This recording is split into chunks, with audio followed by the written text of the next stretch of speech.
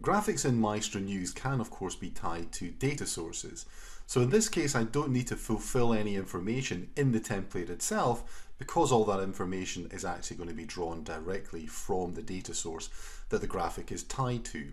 So in this case here, for example, we have a business report story and what I want to take a look at is a graphic that has the latest financial information from the markets. So all I need to do there is in my templates, just take my template and drag it straight into my story itself.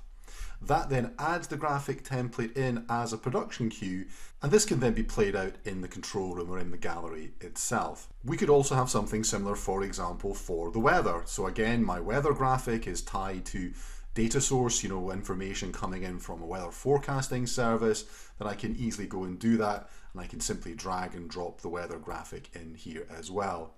Maybe I want to do something else with this story though, because perhaps what I want to do is I actually want to use a wipe coming from the graphics system that's going to lead into this. So again, the same kind of thing, I can easily do that directly from um, MediaCentral um, itself because I have the correct template. So here I have my news wipe template, I can just drag that in and again just position it where I want it to go and I can add that in. So now you can see I have my news wiper in here and then I have my weather graphic coming after it.